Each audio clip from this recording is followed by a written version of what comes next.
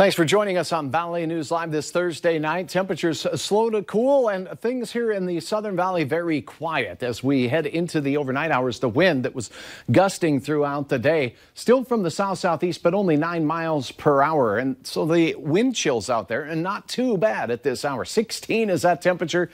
That's the same reading you have out at the Airport in Moorhead. Gwinner 14, Jamestown joining you at that number. Single digit readings in portions of the Devil's Lake Basin.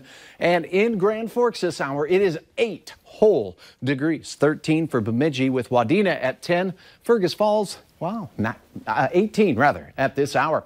Still a few clouds, mainly in the northern valley. Snow north of Winnipeg continues to drift toward the northern Great Lakes region. Uh, along a boundary where there is some warmer air to the south and to the west, that cool pool mainly up to the north and east. Nationally, quiet weather for most of the nation, minus the desert southwest and moving into West Texas. A little bit of unsettled weather there, but by and large, pretty quiet conditions right now. As we go through the overnight hours, there's not going to be a lot of change. We'll see periods of cloudiness, even at times here in the Southern Valley. As we go through the overnight hours, there'll still be a chance of hit or miss flakes of snow along the international border in northern Minnesota. Most of us start out the day not far from 10 degrees, although we'll see some single digits still up in northeast North Dakota and northwest Minnesota. And there'll be enough wind out there to have some wind chill, but it'll be closer to zero degrees or just below for most of us as we head out the door.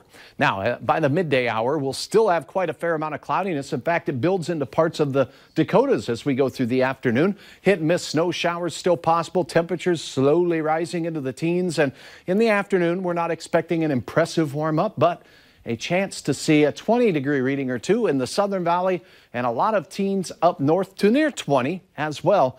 Again, the snow chances will taper off a little bit later in the day. Uh, tomorrow in northern Minnesota. In Fargo, then, uh, summary 8 degrees to start your day. Winds generally out of the north, but only 5 to 10 miles per hour for most of the day.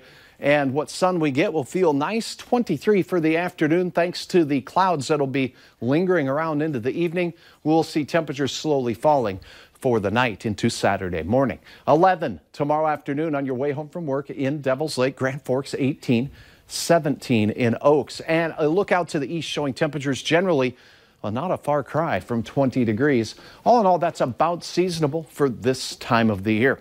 Here's a very colorful shot uh, titled it uh, Cotton Candy Skies. Some very vibrant colors there.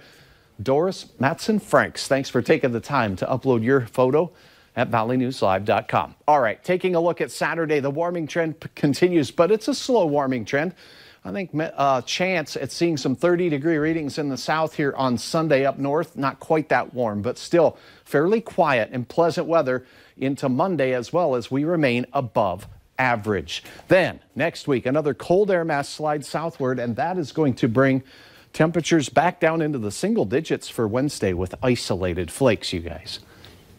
All right, thanks, Hutch. You bet. The latest diet trend.